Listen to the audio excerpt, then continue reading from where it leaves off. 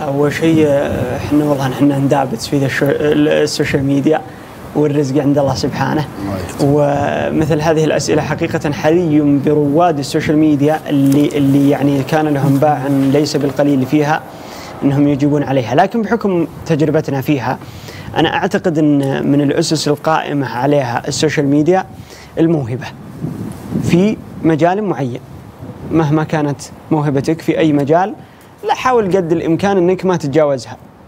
يعني آه، على سبيل المثال إذا أنت راوي فعندك الرواية. أبحر فيها وتمكن منها.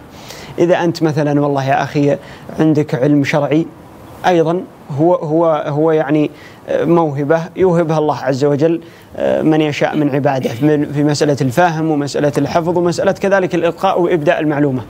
إذا إذا أنت والله رجال صوتك زين تطرب به المستمعين. وش ازين منها؟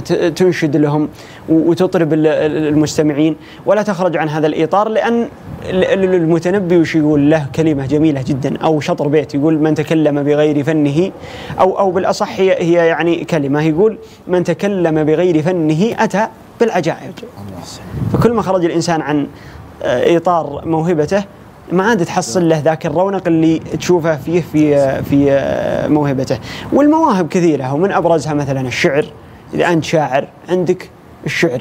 أو أوصل أفكارك أوصل الأشياء اللي أنت ترغب في إيصالها عن طريق مادتك اللي أنت موهوب بها.